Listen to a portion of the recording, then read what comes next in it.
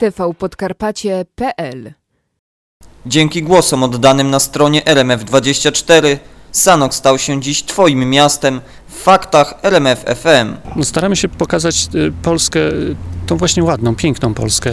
Polskę małych miasteczek, y, nie dużych, y, olbrzymich miast y, wojewódzkich. No, gdzie siłą rzeczy są muzea, są takie rzeczy, które warto zobaczyć, do których często turyści przyjeżdżają, ale zapominają o tych małych miasteczkach, które są gdzieś może na uboczu, a wcale, wcale nie są gorsze od tych miast.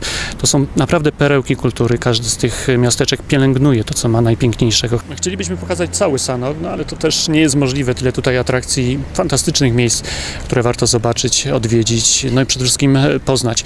Ale na pewno będziemy w Skansenie. Jesteśmy już w tym momencie w Skansenie. Tutaj będziemy opowiadać o tym jednym z największych muzeów w Europie pod chmurką. Będziemy w Muzeum na Zamku, czyli tam, gdzie jest największa kolekcja zbiorów dzieł grafik, obrazów e, Zdzisława Beksińskiego. Sanok to także najstarsza fabryka autobusów e, w Polsce.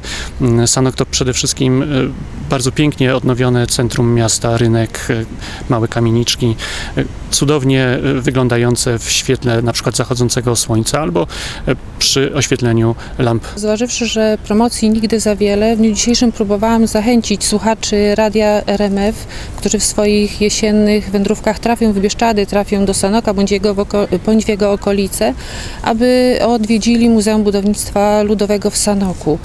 Sanocki skansen jest malowniczo położony u podnóża gór słonnych nad brzegiem Sanu. Jest to miejsce szczególnie piękne o tej porze roku i y, można tutaj zobaczyć nie tylko ym, zastygłe w czasie zamieszkane kiedyś domostwa Bojków, Łemków, Pogórzan i Dolinian, ale także galicyjski rynek, świeżo oddany dwór. Wejścia z Muzeum Budownictwa Ludowego, Muzeum Historycznego czy Sanockiego Rynku to doskonała okazja do promocji naszego miasta i regionu. Najważniejsze, że to dzięki Wam, internautom, którzy oddawali e, głos na nasze piękne miasto, dzisiaj fakty RMF e, są nadawane właśnie z Sanoka. E, Jest to na pewno fantastyczna promocja dla naszego miasta i dla wszystkich atrakcji, zabytków, jakie posiadamy. I to bardzo dobrze, że wszędzie tam, gdzie RMF jest e, słyszalny, e, dzisiaj e, wszyscy usłyszą właśnie o naszym mieście i o Sanoku. Na tych, którzy natknęli się dziś na ekipę radia RMF FM, czekała słodka niespodzianka. Drożdżówki z najstarszej sanockiej piekarni Jadczyszyn.